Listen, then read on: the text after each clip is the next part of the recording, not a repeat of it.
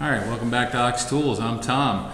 So uh, we put out a little video the other night on um, uh, was a work holding indexing problem uh, that a viewer uh, wrote in about, and um, so I was trying out a kind of a new video format for weeknight uh, videos.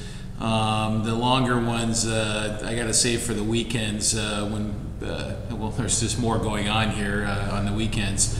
Um, you know, after work, um, I can shoot a short one like that and get it processed and uploaded uh, pretty easily. So, uh, anyway, I kind of test driving a, uh, a shorter format, under 20 minute uh, type video. So, anyway, there's a lot of uh, a lot of comments, a lot of positive response uh, for something that uh, you might take for granted uh, is a simple indexing job like that. You know, if you've been doing this work a long time, um, you tend not to think about those things in terms of uh, you know how you're going to do it. You just reach for your your normal tool and uh, and you just kind of do it, right? So, but there's a lot of folks out there that. Um, um, they're working in a small garage. They don't have a lot of tooling uh, or equipment or experience even, and uh, um, and their resource uh, for information is over the internet. Uh, maybe they don't do machine work or metal work professionally, um, so their resource they don't have that connection. You know, they don't work next to another metal worker, right? You know, they uh, they work in um, some other field, right? And uh, so they don't have access to those folks other than through the internet, right? So anyway, Eric's question really got me thinking about, uh, well, gee, if I didn't have all this wonderful stuff, you know, how how might I do that, right? And kind of get it done. And uh, uh, like I said, it got a positive response, and thanks for all the comments. I appreciate it.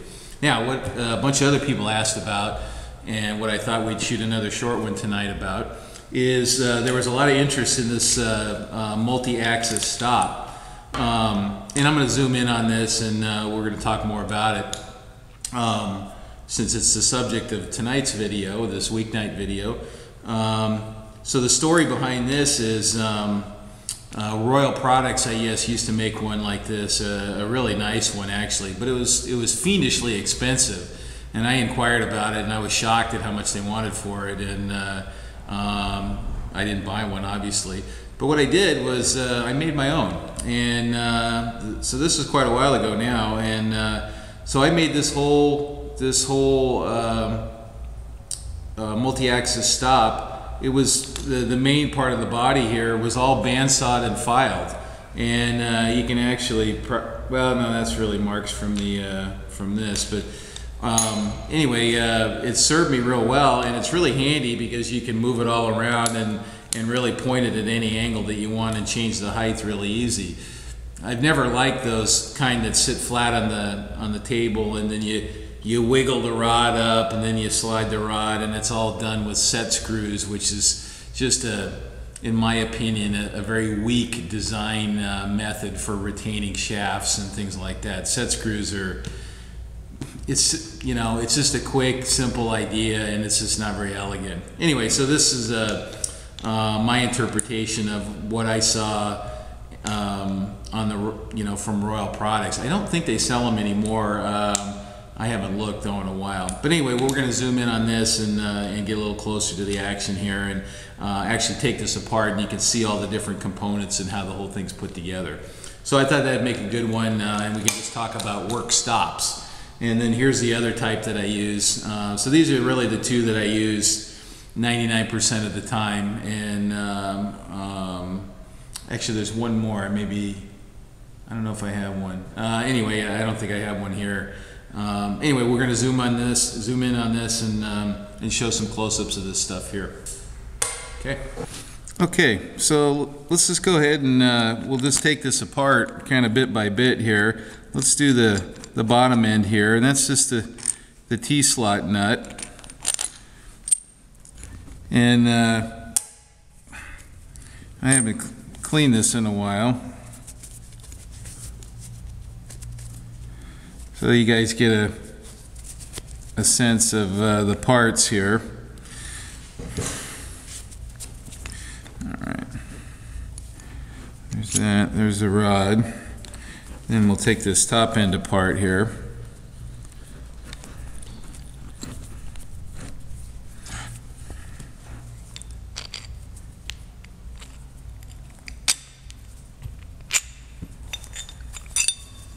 Okay so there's all the bits.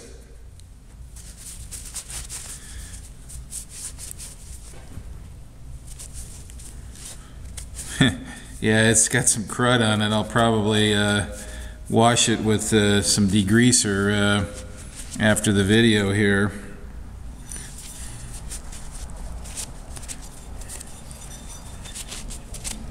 Okay, so let's talk about this part first. So this is the main body here, and uh, you know this is. Uh, let me get a let me get a scale real quick. Okay, so um, I went and got a scale. So this part here, it's uh, inch and three quarter.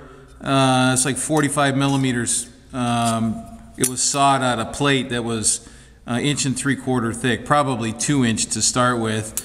And then I laid all this out and bandsawed around all that. Um, and then the overall length is just short of six inches or uh, 150 millimeters. And, um, um, and then it's got slots milled in it. And then the slots, uh, um, it doesn't look like I, I didn't rotate this. Yeah, they're just straight through uh, and wide enough to accept the, uh, uh, actually that one's tilted a little bit. How did I do that? Oh, you know, I probably had the end mill in there and then I just tipped it in the vise and cut a little bit more to get a little more travel. In fact, you can see it you can see it on the sides here where there's some uh, some little uh, ripples from the cutting. So I, I came in with an end mill like this and milled and then rotated it a little bit and then milled a little more just so I could get more travel out of the uh, uh, out of the bolt through there. So uh, so there's that part there, and then uh, uh, my old toolmaker friend Charlie engraved my name in uh, in it for me a long time ago. Um, he wanted to do something for me, so I said, "Oh yeah, go ahead and uh, put my name in there if you want." So there's that part. So then this is the uh, this is the upper part here. It's kind of a captive uh, T-nut here. So let's I guess we can put it back together uh, as we go here. So this goes in here like so, in the top. And then we need a, a curved part to bear against that, and that pivots on that. And then we have the rod, the rod clamp here, and it's got, you know, a groove cut in it off center asymmetrically.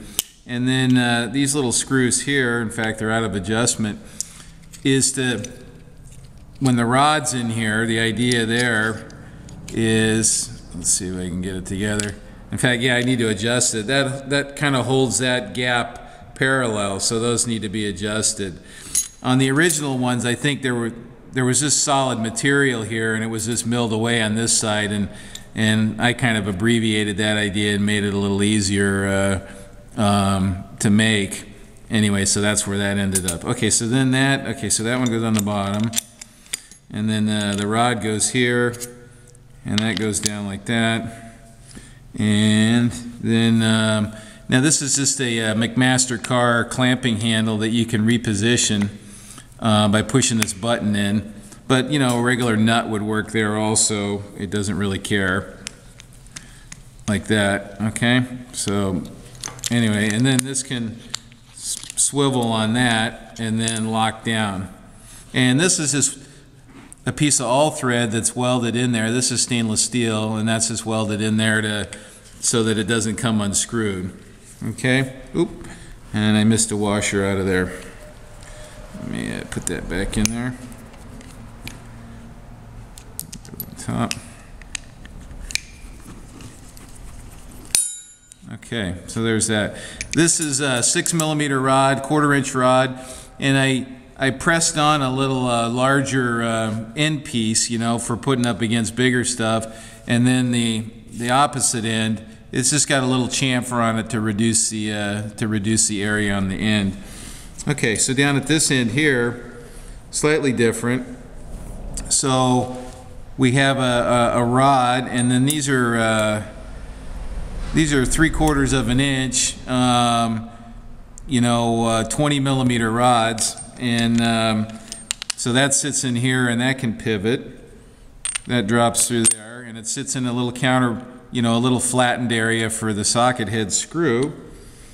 And then this is the part that sits against the mill. And that just has the same radius as that, like so. And you could make these any size you want. There's no reason it's got to be this size. In fact, uh, a bigger one would be kind of cool, you know, uh, about, I don't know, maybe uh, half again as long. That'd be pretty spiffy. Uh, I could get into that. Although I, this one seems to work fine. And then that catches the, whatever T-slot size you happen to have there. So all the hardware here, this is half inch, you know, 12 millimeter uh, uh, bolts, kind of standard uh, milling machine. You don't want these to wear out on you. Anyway, that's uh, that's the multi-axis stop there. And then the other the other stop that I use is one I made a long time ago when I was just a kid. Um, you know, a little shop project, and this one clamps on the uh, the top jaw of the of the Kurt. And the you know, it's got a little knurled knob on here, so I can just run it up with my hand. Um, but I, I milled a little slot in there that fits the scale.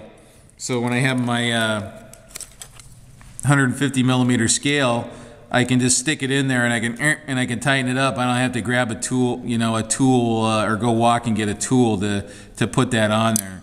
So these are the two types I use all the time, and um, and there's the multi-axis, um, the multi-axis deal there.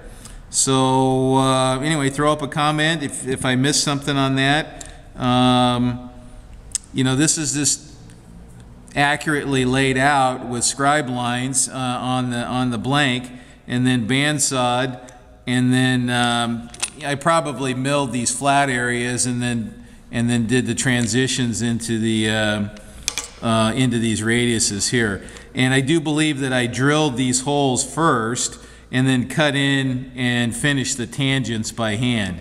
So, you know, anything that you can do on the machine, obviously you could do this as a rotary table job too, which would be kind of fun if you have a rotary table, but if you have a bandsaw, you're off and running. Um, and, um, you know, you could make these any size, any size you cared to make. Okay? And uh, there's the little, oh, hey, it kind of fits on there, huh? Yep, it does. Hey, you know what? That's a good way to uh, that's a good way to store that, huh? See, now I just learned something. That's pretty cool. That might be a new place for me to store so my stops are all together. Okay? Okay. Okay, that's it for this installment. Um, we talked about uh, mill stops, and uh, I guess I just wanted to uh, um, offer my condolences to the uh, the New Zealand sailing team. I guess Oracle uh, spanked him uh, uh, this afternoon in the uh, San Francisco Bay. So everybody at work was jumping and uh, flying around. So uh, my condolences to the Kiwi viewers. Um, um, have a beer on me, please, and and sorry about that. Better luck next time. Anyway, thanks for watching, guys, and we'll see you again soon.